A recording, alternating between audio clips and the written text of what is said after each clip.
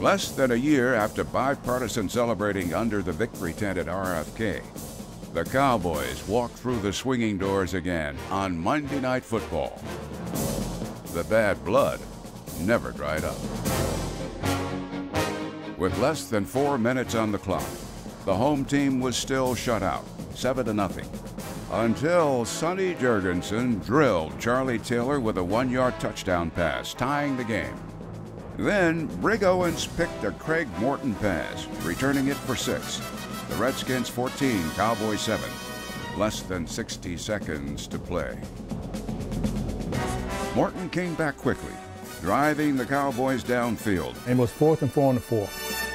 With 29 seconds left, he went to his meanest receiver. It was a swing pass. You know, it was, uh, and Brig Owens and I had what we call combo coverage. I thought that I could intercept the ball, and I actually overran the play. There was Walt Garrison. He was a bulldog. He rode, you know, bulls and stuff like that. It was dead silent. And I remember calling for Brig to come and help me. And I caught him, and I wouldn't let him put his feet down. Kenny was strong and he was vicious. So when I, I seen him actually get his hands around Garrison, I knew it was all over. It seemed like a lifetime, but probably about five or 10 seconds, you could hear the stadium coming back alive. I mean, it was like a staccato effect. But that was a great play. Kenny, I love you for that, man.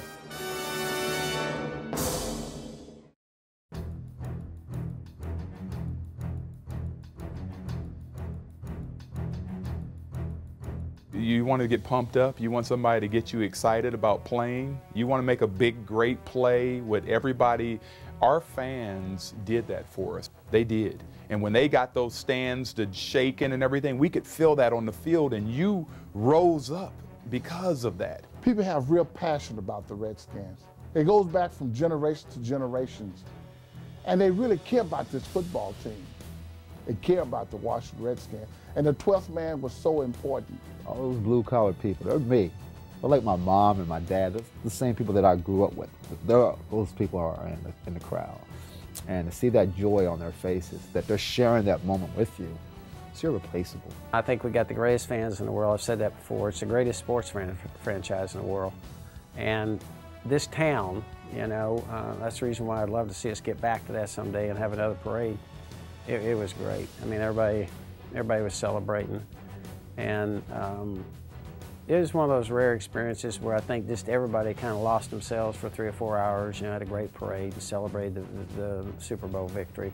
It's a part of the fabric of the, you know, of our community. Obviously, the White House is huge in government, but Washington Redskins is, is the fabric of this community.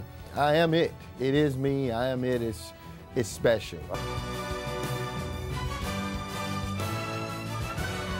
Seventy-five years of Redskins football built on tradition, has been presented by Chevrolet. Go to ChevyFirst.com.